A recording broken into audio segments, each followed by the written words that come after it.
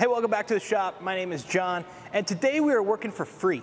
So if you remember in our last video when I was building this set of turbo manifolds for this 3600 horsepower diesel engine, and I was telling you how I didn't really like these formed collectors that I was using. And I was under a bit of pressure to get these done in a very short amount of time, so I made the very wise decision of just steaming forward. Now, I do regret that because I woke up to this text only a couple days later. And I thought, you know, today is going to be a fantastic stress free day. So once I got these things in my hand, I realized what had happened here. Unfortunately, these formed collectors are not up to the task of being a collector on a 3600 horsepower diesel pulling truck that glows bright cherry red during operation and has over 200 psi of pressure on the inside.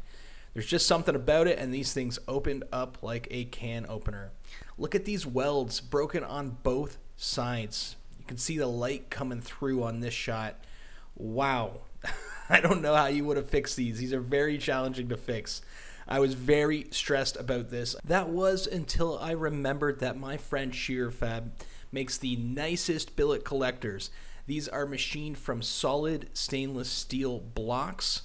They are much stronger and they should slip onto this collector. So I've got these manifolds back in my shop and we are going to jig these things up to the table and see if we can retrofit these billet collectors into place and save this set of manifolds.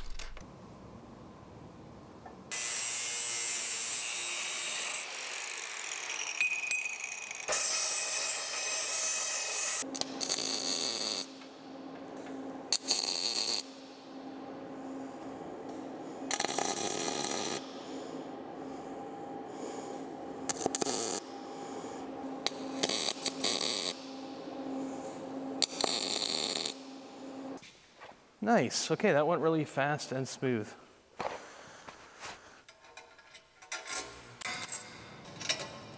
So you can see how easy it was to build this jig. I'm just using a trace Sharpie mark on the table that I line up my eye perfectly, and then these plasma cut plates that bolt up perfectly to the other end. So this is pretty repeatable. Surprisingly, these manifolds sit quite square on my vertical bandsaw, so I'm just going to tape up the tubes so I don't scratch them up, and I'm going to push it right through.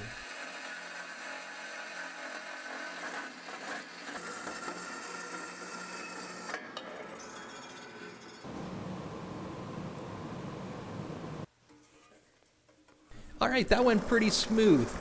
Just got to cut the flanges off of the outlets of these manifolds now. Okay, we've got our reducing cones cut off of these flanges. I am going to machine this weld off and I need to get this piece that was welded in this recess out of there.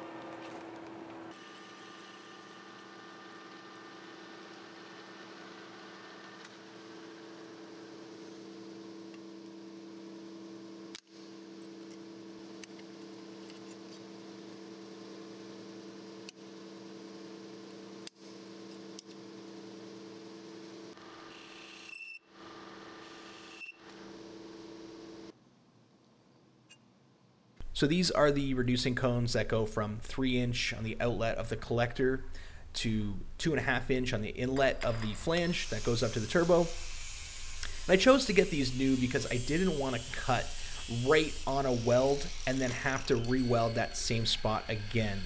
That can weaken the stainless steel, uh, not by much typically, but this is just such an extreme application. I wanted to make sure that I was following the best practices so I wasn't making a third video about my failures. These manifolds are actually sitting at a beautiful blue patina, and that means they haven't gotten that hot because a little bit hotter and they will go to their natural poop brown. That's where turbo manifolds like to sit. Now, no matter what, we need to get all of the soot out of the inside of these tubes and get the color off of the outside of the tubes so we can make sure that we are welding to the best standards possible. I knew these were going to be a tight fit, So I am just manipulating the tube slightly. Uh, you're going to see me shortly modifying the collector and that's all to get these to slip together. Remember, I did not build these with this collector in mind, and it's much, much tighter than the original collector I used. So there's going to be a little bit of finagling involved to get these things fit up.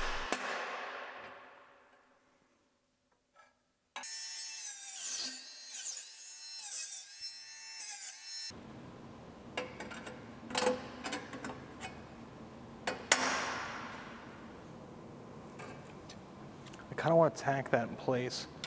I think I'm gonna.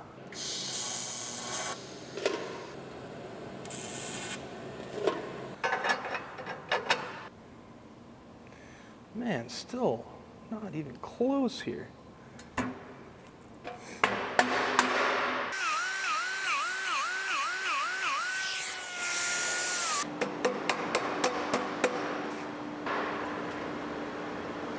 Almost.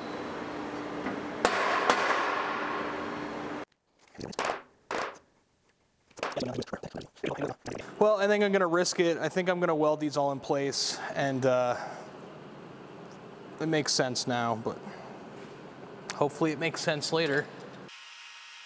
Well, what do you know? It actually didn't make sense later. What you see me doing here is welding the star into place and it's flush with the end of the tubes. And what I really needed to do was recess that star in past the tubes by about a quarter inch. Now I did this on the second one, don't worry, but I just made it a little bit harder on myself to make the connection you're gonna see me doing later. Oh, it just fits on like butter now. Oh, perfection, absolute perfection. That's just like I didn't fuck it up.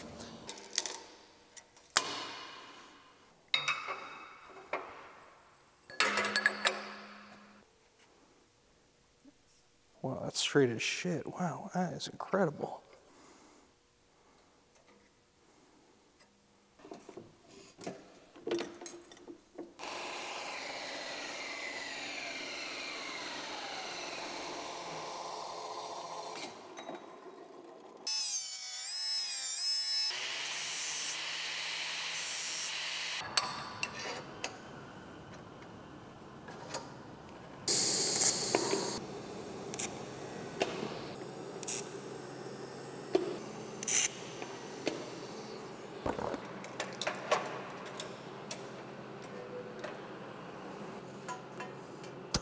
So easy.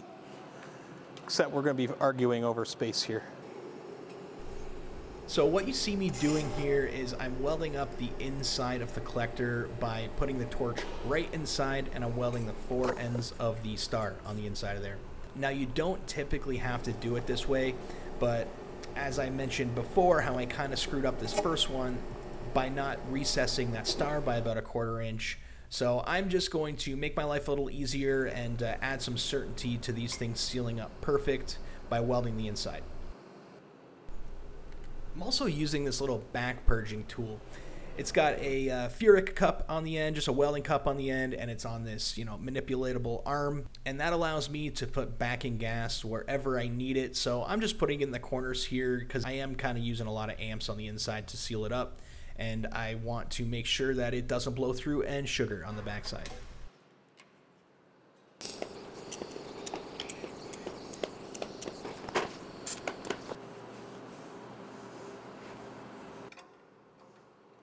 So now I'm getting this thing ready to back purge so we can do the final welding on the collector. So I am using these very, very lightly rolled pieces of Scotch-Brite and I'm using them as diffusers and sticking them into the EGT ports. So that's what's going to exhaust the gas on the inside, and I'm going to feed it in from the collector end.